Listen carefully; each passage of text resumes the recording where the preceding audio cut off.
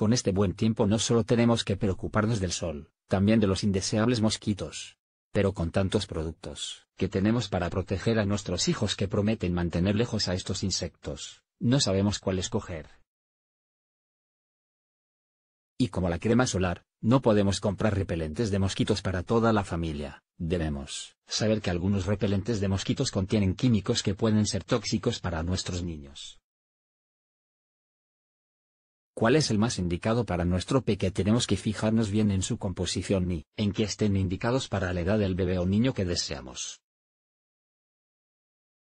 En bebés menores de dos meses no hay que utilizar ningún tipo de repelente, a partir de este tiempo podemos comenzar a utilizarlo pero no es aconsejable aplicar un producto de forma directa sobre la piel ni pulseras.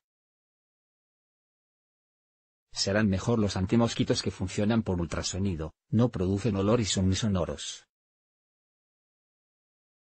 Los parches que liberan sustancias repelentes, pero debemos ponerlos sobre telas, nunca en la piel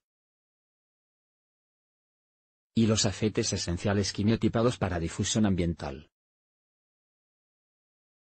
A partir de un año de edad ya podremos usar en nuestro bebé productos que se aplican sobre la piel, como el repelente IR 3535 que es muy eficaz. Las famosas pulseras antimosquitos se recomiendan para niños a partir de los 3 años.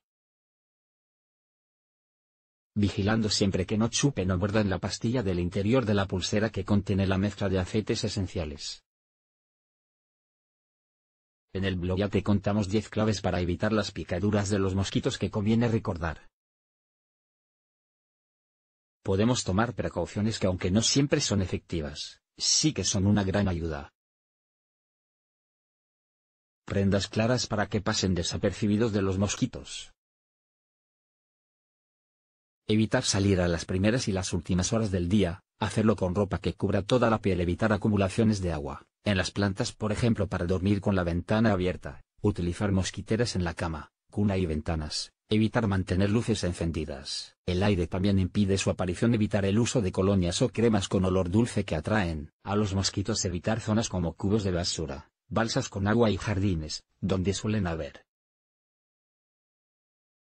en caso de una picadura en el caso que no podamos evitar la picadura de un mosquito en nuestro niño, podemos aplicar un poco de hielo envuelto en una toalla o una compresa fría para aliviar la picazón.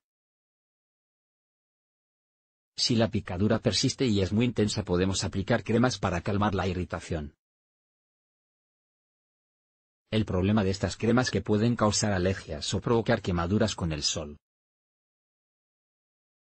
Otro método sería darle antihistamínicos orales, en jarabe, que son muy efectivos calmando el picor.